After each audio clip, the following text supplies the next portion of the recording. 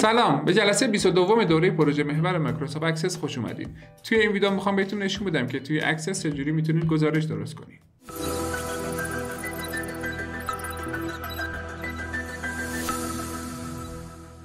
خب برای ساختن گزارش ما اولین چیزی که نیاز داریم یه دونه query یه.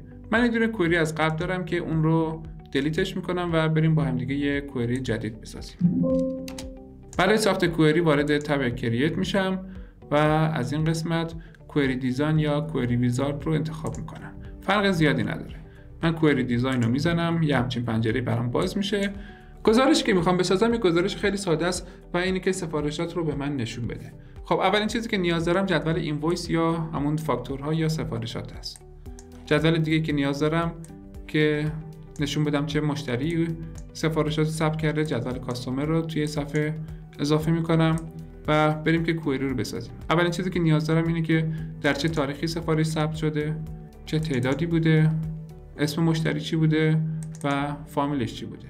حالا به جایی که دو تا فیلد اینجا قرار بدم اینو من delete ش می‌کنم و میام توی این قسمت کلیک راست می‌کنم زوم می‌کنم میگم first name ampersand یه فاصله دوباره ampersand و last name به جایی که اسم و فامیل رو تو دو تا فیلد نشون بدم جفتش رو توی یه فیلد می‌خوام نشون بدم. و فعلا کاری با این گزارش ندارم و اینو ذخیرش می‌کنم. که اسمش رو می‌ذارم invoice query. حالا برای ساخت گزارش کافیه query که ساختیم رو انتخاب کنیم و وارد create بشم. و از این قسمت report رو انتخاب کنیم. به محض که report رو انتخاب می‌کنیم خودش به صورت اتوماتیک خروجی query رو می‌گیره و گزارش رو می‌سازه. اگر که بریم گزارش نهایی رو ببینیم نتیجه خروجی به این صورت میشه. که تمامی فیلد هایی که نیاز داشتیم رو توی خروجی به ما نشون میده register date quantity و expression که همون اسم و فامیل مشتری هست. خب حالا بریم اینو با هم دیگه design ش کنیم. وارد layout view میشم. اولین کاری که می‌کنم اینو اسمشو می‌ذارم مشتری. اسم اینو می‌ذارم تعداد و این یکی هم تاریخ ثبت. تو قسمت پایین یه قسمتی هست به اسم group sort and total که اگر که این قسمت وجود نداشت کافی از این قسمت report layout design دکمه group and sort رو کلیک کنید که این پنجره باز میشه. امکانی که این پنجره به ما میده اینه که هم می‌تونیم این گزارش رو گروه بندی کنیم و هم اینکه مرتب سازیش رو مشخص کنیم. حالا گروه بندی یعنی چی؟ یه مثال با هم انجام بدیم تا بیشتر متوجه بشیم. یه add group می‌زنم میگه بر اساس چه چیزی می‌خوای اینو گروه بندیش کنی؟ میگم همین expression یا همون مشتری باشه برام گروه بندی کن. حالا اتفاقی که افتاد چیه؟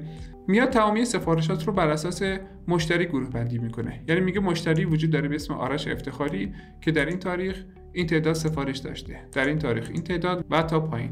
اگه اینو اسکرول کنیم می‌بینیم که اینو من رو حالت ویو بذارم بهتر نمایش داده میشه.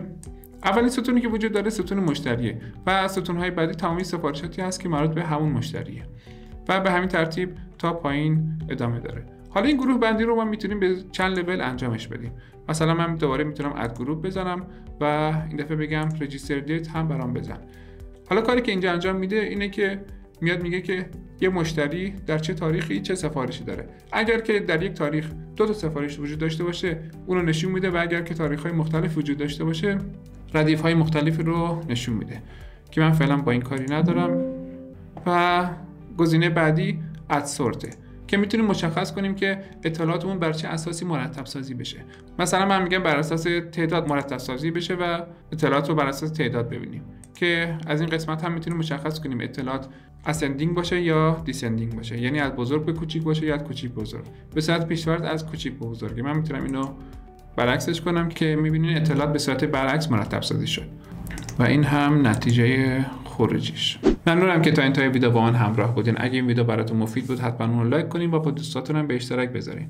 منتظر نظرات و پیشنهاداتتون توی کامنت ها هستم. این ویدیویی که بهتون پیشنهاد میدم از ویدیو همین کانال. اگه دوست داشتین اون رو تماشا کنین.